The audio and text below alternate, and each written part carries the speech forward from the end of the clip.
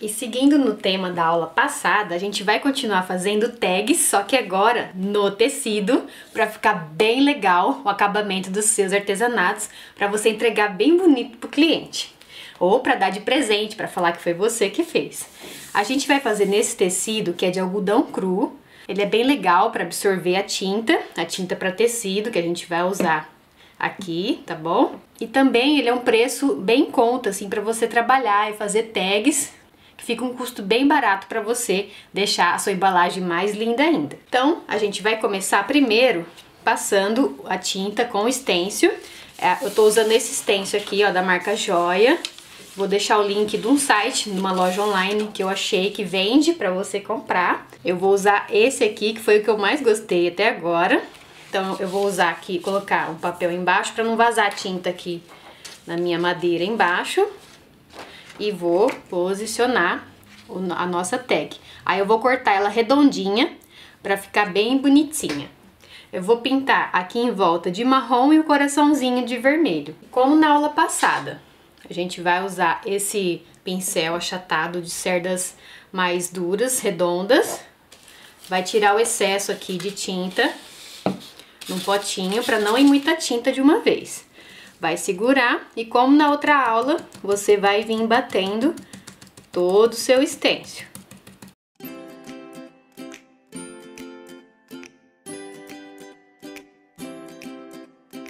E com a tinta vermelha, o coraçãozinho. Segura bem, ó, para não entrar tinta debaixo do desenho, que não tem erro, ó.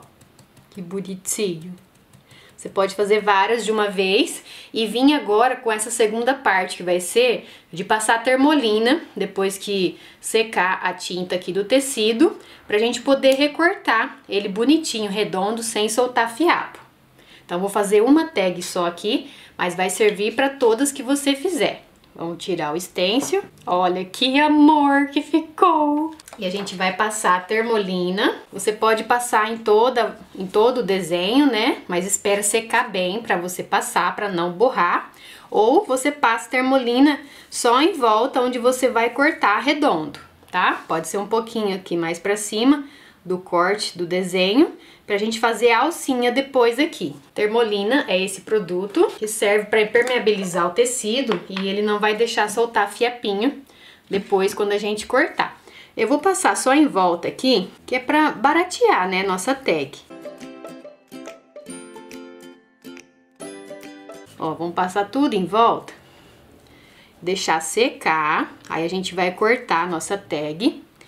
Pode ser redondinha, você faz ela compridinha, você faz do jeito que você quiser. Então, eu tô seguindo o desenho aqui. E faz também, ó, um pouquinho aqui da espessura do pincel que você tá usando.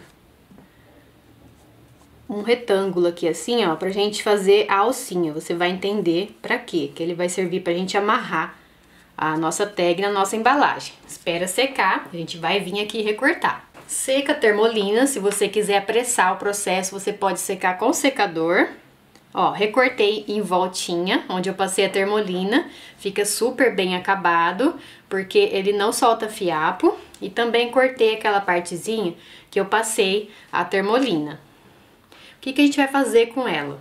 Você pode usar cola quente ou cola, de, ou cola universal, que cola mais rápido. E a gente vai colocar ela aqui atrás, ó. Assim, tá vendo? para poder passar o nosso cordãozinho de sisal ou de uma fita de cetim. Ó, você pode encaixar já o sisal, que é o que você vai amarrar na sua embalagem. Então, se você achar mais prático, você já pode colocar o sisal aqui dentro, colocar uma gotinha de cola aqui. A cola quente só vai ser um pouquinho mais rápida, mas dá para fazer com a cola aqui universal, até cola branca daria, mas aí demora mais um pouco para secar.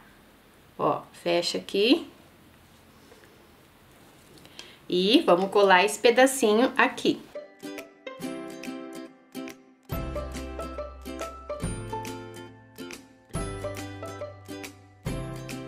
E está pronta a sua tagzinha para você amarrar no seu na sua embalagem. Olha que linda! Um outro jeito que você pode fazer Ó, eu já fiz vários, tá vendo? Aproveitando o pincel sujo e a tinta, eu tô passando a termolina nesse aqui e a gente vai colocar uma argola, se você não quiser fazer como na, na forma anterior. Você passa a termolina aqui no meio, ó, aonde você vai perfurar para colocar a argola, ó. A gente vai colocar bem aqui em cima, ó. Então passa termolina bem aqui pra gente furar e não soltar fiapo. Aí você aproveita e passa termolina em todos que você já fez em volta, ó. Pra já aproveitar e secar tudo de uma vez. Tô aqui com as etiquetinhas sequinhas e prontinhas. Ai, tá muito linda, né? Essa combinação de cor ficou bem legal. E eu vou te ensinar agora o segundo jeito para você ter argolinha para passar o sisal ou a fita de cetim. Lembrando que a primeira foi feita com o próprio tecidinho, ó, aqui atrás. E essa daqui a gente vai usar essas argolinhas, que serve para montagem de bijuteria. Você compra em loja de montagem de bijuteria, ó, umas argolinhas simples, são baratinhas. A gente vai abrir ela aqui só para passar por dentro, ó. E aqui, aqui a gente passou termolina, lembra? A gente passou a termolina aqui, então o tecido tá mais durinho. E com uma tesourinha pequena ou alguma agulha mais grossa que você tenha, a gente vai colocar bem delicadamente aqui, ó. Pique Tá vendo que vazou aqui atrás a tesoura? Só um pontinho mesmo, bem pequenininho, ó. Pra passar a argolinha dentro. Que a gente abriu aqui, ó. E coloca a argolinha dentro do buraquinho. Vamos fechar a argolinha. Eu uso o alicate para ficar mais fácil, não doer meu dedo. Olha que lindo que ficou. E agora é só passar o sisal ou a fita de cetim aqui dentro. Olha, e a gente vai ter também, deixa eu virar pra cá assim.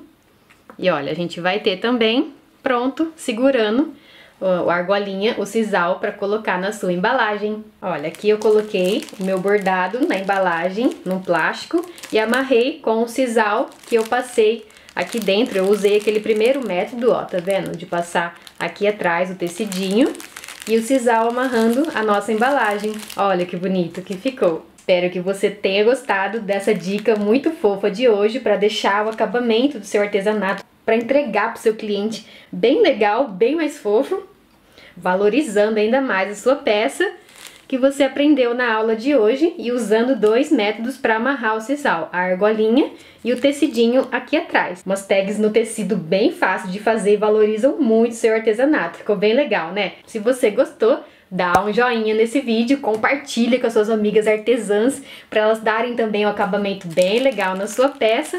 Comentário se você gostou dessa aula e qual método você vai usar e assiste a aula anterior que eu te ensinei a fazer no papel, assim as tags que ficam também baratinhas para você colocar no seu artesanato. Eu particularmente gostei bem mais da de tecido, ficou bem lindo, achei muito fofo. Espero que você tenha gostado e se inscreva no canal para você receber mais dicas de artesanato, mais aulas super legais que eu tenho aqui no canal Ideias da Dica toda semana.